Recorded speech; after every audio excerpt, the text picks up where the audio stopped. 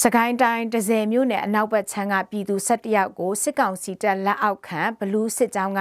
အပိုင်းပိုင်းဖြတ်ကခုတ်ထစ်ပြီးတော့တပ်ဖြတ်သွားခဲ့တယ်လို့ပြည်သူ့ကာကွယ်ရေးတပ်ဖွဲ့ဝင်တွေကပြောပါတယ်။ဒီကြောင်းအသေးစိတ်ကိုတော့ကိုပီတာကတင်ဆက်ထားပါတယ်။နမဲဆိုးနဲ့ကြော်ကြားနေတဲ့စစ်ကောင်စီလက်အောက်ခံဘလူးစစ်ကြောင်းနဲ့တင်ကန်းအရေးချုံ950ဆရာတော်လို့လူသိများတဲ့ ဝါတဝရဲ့ပြူစောထီးစစ်ကြောင်းတို့ ပူးပေါင်းပြီးတစဲမြို့နယ် အနောက်ဖက်ချမ်းရှိ ရွာတွေက ပြည်သူတွေကို ခုတ်ထစ်တပ်ဖြတ်သွားခဲ့တယ်လို့ ရေဦးမြို့နယ် အခြေပြု People Defense Comrade က ပြန်ကြားရေးတာဝန်ခံ ကိုထူးခန့်စော်က ပြောပါတယ် ရေဦးနယ်တွေကနေပြီးတော့ ဝင်လာတဲ့ အခု ခွေဘလူးစစ်ကြောင်းရဲ့နောက်ပြီးတော့ဒီကမ်ဘလူးနယ်ကနေပြီးတော့ စစ်ကူပေးဖို့ ဝင်လာတဲ့950ဆရာတော်ပေါ့နော်တင်ကန်းအရေးချုံ ဝါတဝရဲ့ပြူစစ်ကြောင်းရဲ့ပေါ့နော် အဲဒီစစ်ကြောင်းနှစ်ခုပေါင်းပြီးတော့ အခုလိုပဲ ဒီကျေးရွာတွေကိုဒီစီးနှင်းဝင်ရောက်တယ်အဲသူတို့ဘက်ကတေဆိုးမှု များလာတော့ကြတော့အခုလိုပဲဒီပြည်သူတွေကိုအမဆိုင်ညာမဆိုင်ပေါ့နော်ဒီဖမ်းဆီးပြီးတော့အခုလိုပဲခုတ်ထစ်တပ်ဖြတ်သွားတယ်ပြုလုပ်ခဲ့တယ်စစ်ကောင်စီတပ်ကပြည်သူတွေအိမ်မောကြနေချိန်ညနေပိုင်းချိန်တွေမှာပဲတိုက်တဆိတ်ဝင်လာခဲ့တာကြောင့်တိတ်ရှောင်ချိန်မရပဲခုလိုဖမ်းဆီးတပ်ဖြတ်ခံလိုက်ရတာလို့ကိုတုခန့်ကပြောပါတယ်ဒီနေကင်းပိုင်းတွေမှာသူတို့စစ်ကြောင်းထိုးတာ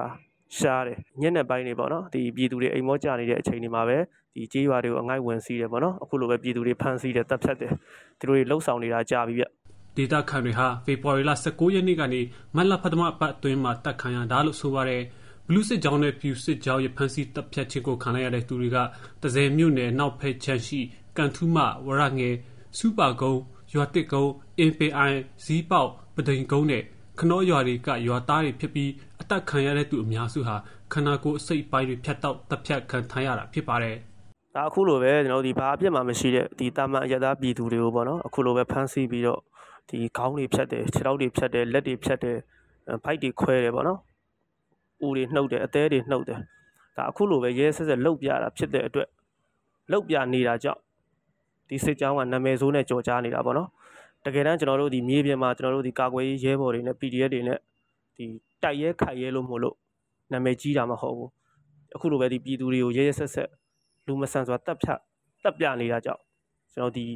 စစ်ကြောင်းကနာမည်ဆိုးနဲ့ကြော်ကြားနေတာပါ